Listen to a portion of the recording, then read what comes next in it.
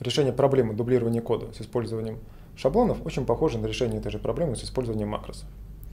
Однако макросы отрабатывают на этапе препроцессора, в то время как шаблоны обрабатываются на этапе компиляции.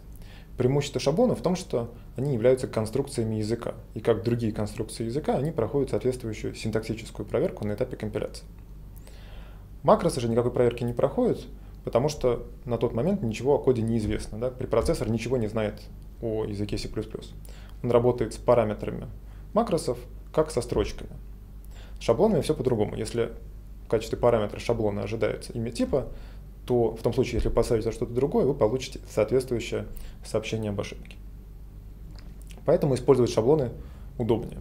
Давайте посмотрим, как ре решить нашу проблему с использованием шаблонов. Значит, вместо макроса, определяющего э, код класса, мы будем определять шаблон класса. Определение шаблона класса начинается с ключевого слова template, и дальше в угловых скобках перечисляются параметры этого шаблона. В нашем случае у шаблона будет один параметр, это будет э, параметр э, type, и ключевое слово класс будет говорить о том, что этот параметр это некоторый тип. Причем не обязательно именно класс, это может быть в том числе и встроенный тип.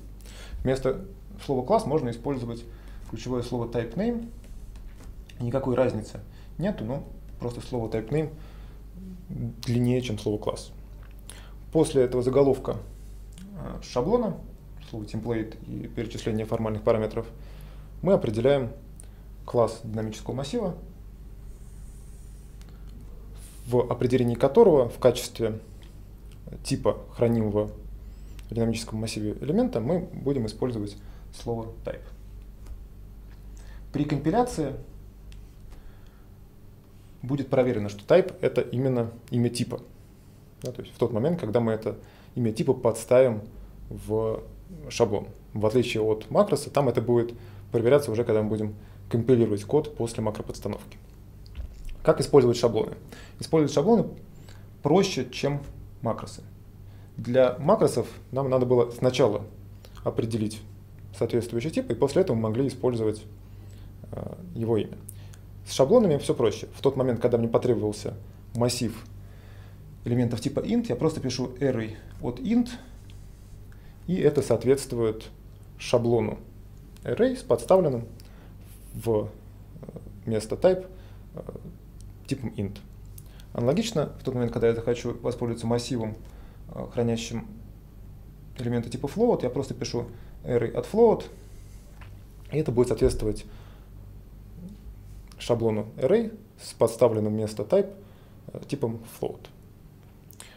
Компилятор, когда встретит такую строчку первый раз, он подставит вместо type э, тип int и скомпилирует данный класс. То есть, если в шаблон подставить конкретный э, значение аргумента, то он уже перестает быть шаблоном, и тогда компилятор может его скомпилировать и дальше использовать. То есть первый раз, когда мы упомянем array от int, произойдет компиляция этого шаблона, это называется еще инстанцирование шаблона. И после этого, каждый раз, когда будем встречать, компилятор уже будет знать, что же это за класс такой. Таким образом, шаблоны, они, с одной стороны, очень похожи на макросы, и нам в некотором смысле даже проще их определять. С другой стороны, работать с ними удобнее за счет того, что э, шаблоны как конструкции языка проходят соответствующие проверки на этапе компиляции.